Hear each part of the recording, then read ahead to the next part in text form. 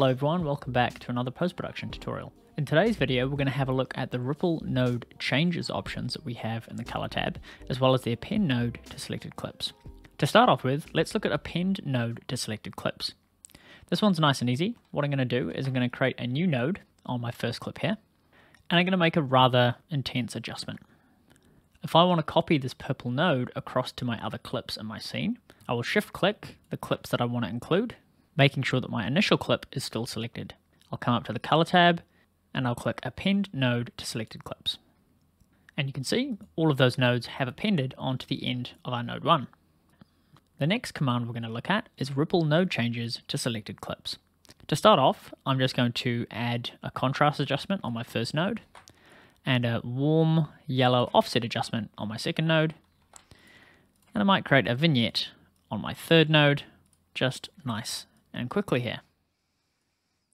I'm going to copy and paste this grade to my entire scene. Now, say that I'm with a client and they've decided that they don't want this warm node, they prefer it to be pushed slightly cooler, slightly blue. This is where the ripple node changes to selected clips command is really useful. The most important thing to do before you make any changes is to make sure you've selected all of the clips you want to ripple this change to. In this case, I want to ripple this color change to all of the clips in my scene. So I'm going to shift click my last clip to select all of my clips, making sure that my first clip is active. Now that all my clips are selected, I'm going to change my offset towards blue. And you can see that nothing happens immediately.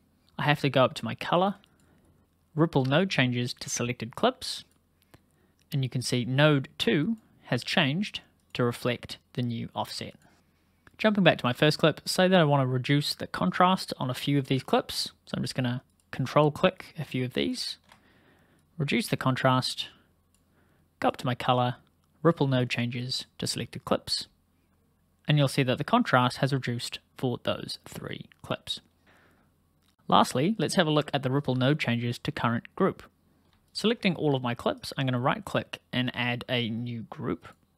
Let's call this interview. I'm going to hit OK.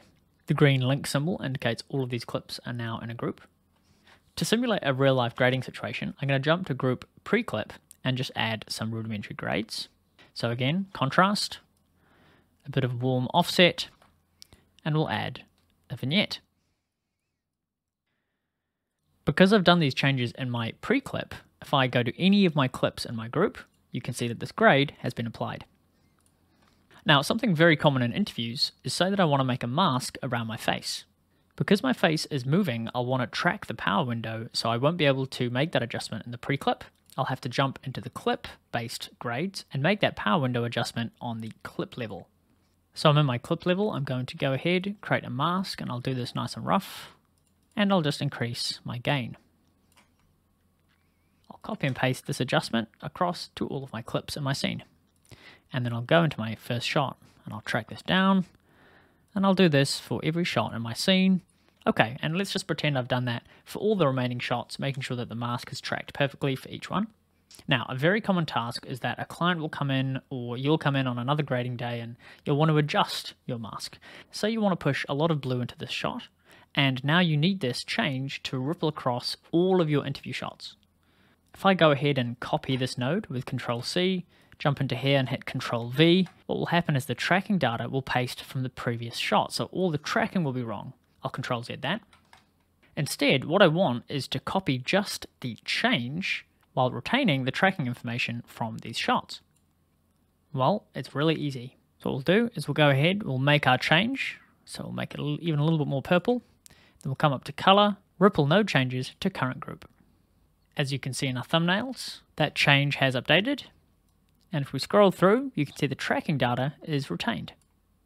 So with one click, we've updated the power window for the face for the entire group. In the same way, you could just select a few clips, make that adjustment, come up to color, and ripple node changes to selected clips. This will achieve the same result, retaining that tracking information on your power window. Okay everyone, and that's rippling node changes to selected clips, groups, and appending nodes. Please forgive the horrendous grades that I've been applying to these interview clips. In real life, you'll be able to use this to make images look really pretty.